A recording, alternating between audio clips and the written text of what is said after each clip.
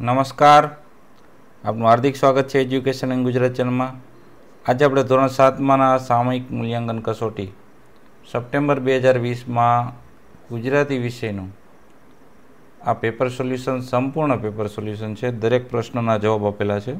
તો video and સુધી જોજો અને શીખજો. નવા વ્યૂઅર હોય તો ચેનલ સબસ્ક્રાઈબ કરી બેલાઇકન પ્રેસ કરી દેજો, જેથી તમે એજ્યુકેશનને લગતા વીડિયો સૌથી પહેલાં શીખી શકો. પ્રશ્ન પહેલો છે કે સ્વાતંત્ર્ય દિન એટલે કે પંદરમી ઓગસ્ટના દિવસને આપણે નિબંધ લખવાનો છે દસ બાર વાક્યમાં. તો સ્વતંત્રય દિનમાં આપણે મુદ્દાઓ પાડીને વ્યવસ્થિત થોડોક પ્રયાસ કર્યો છે. તો પંદરમી ઓગસ્ટ એ ભારતીય લોકો માટે એક મહાન દિવસ છે. કેમ કે ગુલામીના કેટલાય વર્ષો બાદ બ્રિટિશ રાજમાંથી આ દિવસે આપણે સ્વતંત્રતા મળી છે. પંદરમી ઓગસ્ટે આપણો રાષ્ટ્રીય તહેવારે છે. આ દિવસ ભારતીય લોકો માટે આનંદ અને ગૌરવનો દિવસ છે. સમગ્ર દેશમાં દર વર્ષે પંદરમી ઓગસ્ટનો દિવસ સ્વાતંત્ર્ય દિન તરીકે આનંદ અને ઉલ્લાસથી ઉજવાય છે.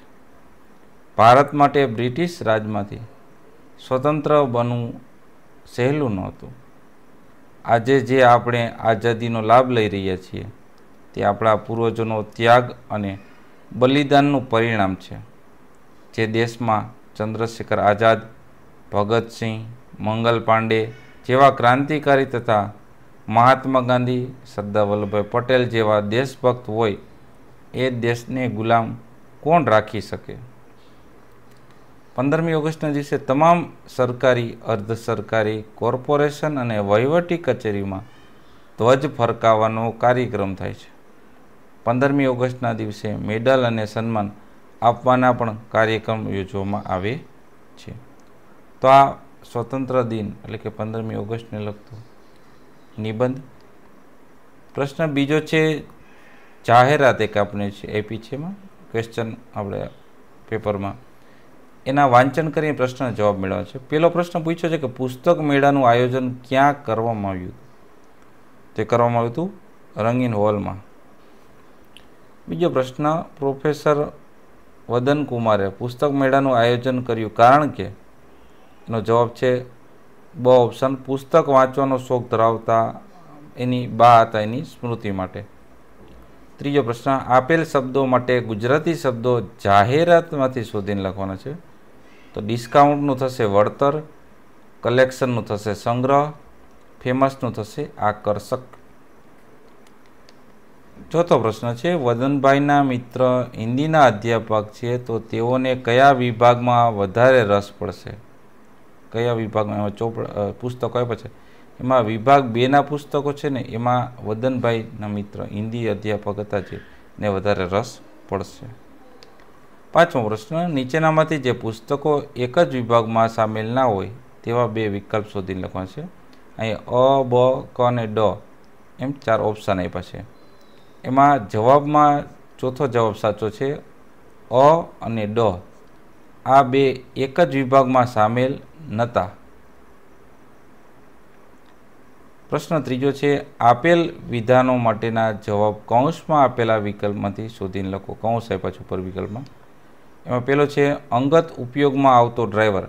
તેને કહેવાય સોફર બીજું, જરૂર ન હોય તેવું વાપરવા માટે ભેગું કરવું. એને કહેવાય પરિગ્રહ.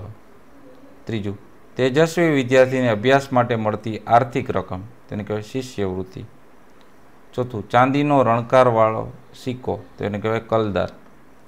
પાંચમું, જીવન ઉપયોગી ભાથું, એને કહેવાય જીવન પાથઈ છઠ્ઠું, સૂકી માટીના મોટા ગાંગડા, એટલે કહેવાય ઢેફા. સાતમું, છાપરાના છેડા ઉપરના નળિયા જેમાંથી પાણી બહાર પડે છે, એને કહેવાય છે નેવા. આઠમું, ત્રણ જાતના પાનનું તોરણ, તેને કહેવાય તરિયા તોરણ. નવમું, જેનો કોઈ છેડો કે અંત જ નથી તે, અનંત. દસમું, ઘરના જેવી સગવડવાળો રેલગાડીનો ખાસ ડબ્બો, ને કહેવાય સલૂન. પ્રશ્ન ચોથો છે, વિરામ ચિહ્નનો મૂકી ફકરો ફરીથી લખવાનો છે. તો આનો જવાબ જ સીધો અહીંયા આપી દીધો છે. વિરામ ચિહ્ન મૂકીને. આ રીતના તમે એમાં જવાબ લખી લેજો. પહેલાં ફકરો લખજો પછી આ રીતના. જે અવતરણ ચિહ્ન છે, ઉદ્ગાર ચિહ્ન ક્વેશ્ચન માર્ક એ બધા દર્શાવી દેવાનું છે. છેલ્લે પૂર્ણ વિરામ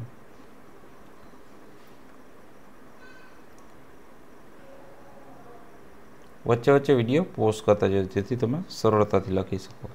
પ્રશ્ન પાંચ છે, નીચે આપેલા પ્રશ્નોના જવાબ આપો. પેલું, પરીક્ષામાં ચિંતામુક્ત રહેવા તમે શું શું કરો પ્રયત્નો કરશો. પરીક્ષામાં ચિંતા કરવાથી, ગભરાઈ જવાથી શું નુકસાન થાય? જવાબ, પરીક્ષામાં ચિંતામુક્ત રહેવા માટે, પરીક્ષા માટે યોગ્ય તૈયારી કરેલી હશે તો ચિંતા પહેલાં રહેશે જ નહીં.